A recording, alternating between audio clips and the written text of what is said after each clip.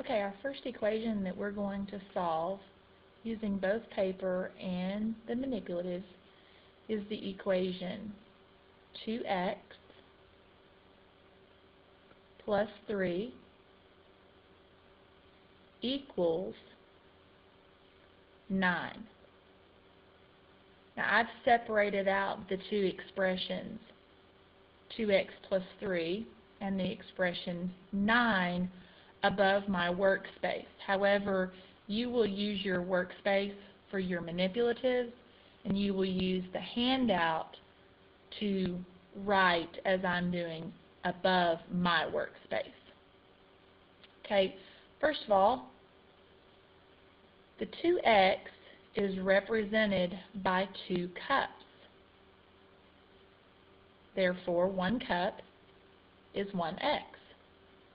So take this time and place two cups in your workspace on the left, as I have done here. Now notice that there is a box on both the left and the right side of the equal sign. And the purpose of that is to illustrate that this over here is an expression and this over here is an expression. But when two expressions are equivalent, we use an equal sign to show that this expression is equal to this expression. Let's pick up where we left off. 2x plus 3. Well, if you've ever used two color counters before, you've learned that the yellow represents positive or plus 3. And of course over here, this expression is 9. Therefore, we need 9 positive or yellow counters. Now I like to organize my counters um, in columns. 1, 2, 3, 4, 5, 6, 7, 8, 9. So your workspace should look similar to mine, only your manipulatives are real. Well, remember that our goal is to isolate the variable x. So talking about our manipulatives, our goal is to isolate one cup. So if on the left-hand side in my workspace, I have two cups and I have three yellow counters. Well, the first thing I need to do is remove these three yellow counters. Now, most students are probably remembering last year, the year before, when you solved equations, some of this is coming back to you, and you're wanting to move ahead.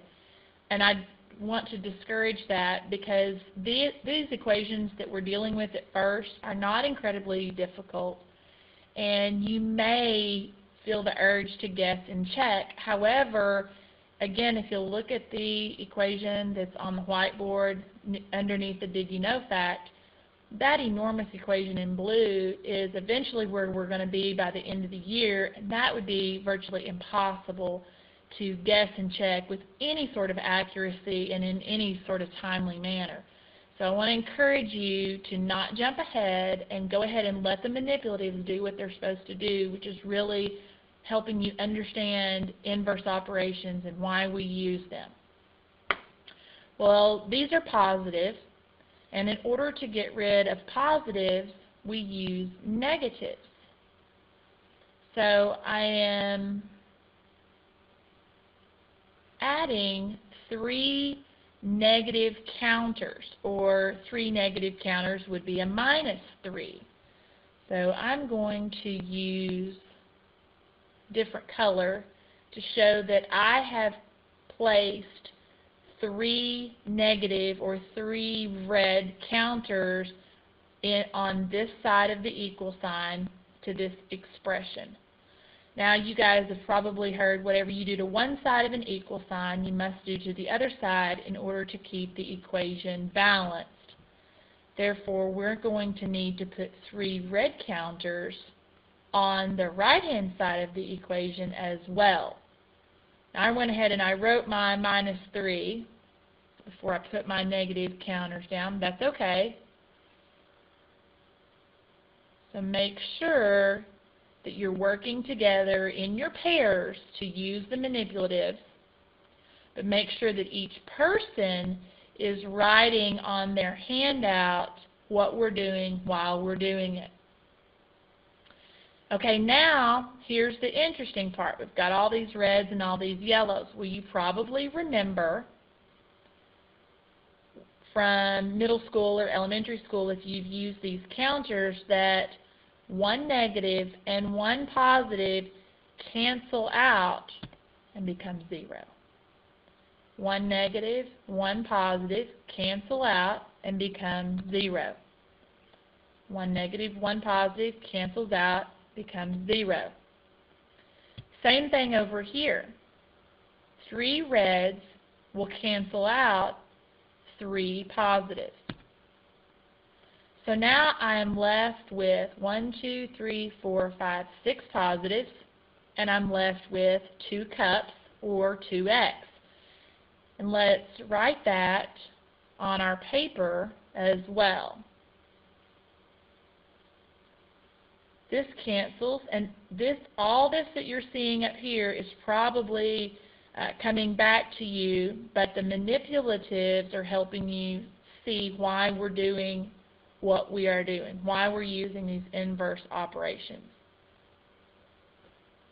Okay, the very last step is we need to evenly divide the counters into the cups. So I'm going to separate these cups out because I, I don't want to deal with two cups, but I just want to know how many counters would be in one cup. Most of you are quickly seeing that it's three, and that's great, but physically take your yellow counter and place it